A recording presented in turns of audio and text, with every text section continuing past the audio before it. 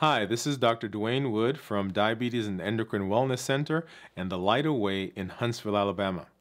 I'm an endocrinologist and I treat patients with hormonal dysfunction. But I'm also sometimes called a diabetes doctor because the majority of patients that I treat have diabetes mellitus, commonly known as diabetes or type 2 diabetes. Today, though, I want to spend some time talking about pre-diabetes, and I want to tell you give you some advice about how to avoid a visit with me. Prediabetes is a condition where blood glucose levels, blood sugar, are higher than normal, but not high enough to have someone classified as having type 2 diabetes mellitus. According to the CDC, there are 88 million people in the United States that have prediabetes.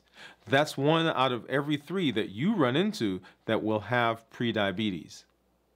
The sad thing is that the majority of people, over 80%, almost 90% actually, of patients who have prediabetes don't even know that they have it.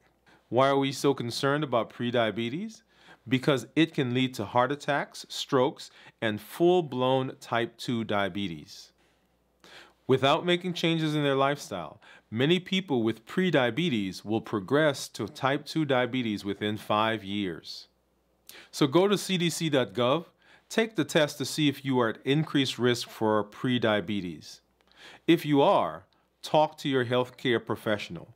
There's a simple blood test they can do that can tell you whether you have prediabetes.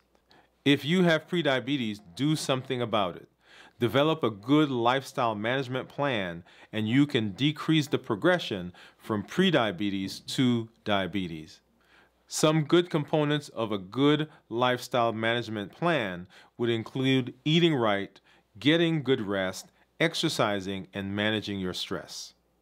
This is Dr. Dwain Woode from Diabetes and Endocrine Wellness Center and the Light Away in Huntsville, Alabama, educating the public for a better you.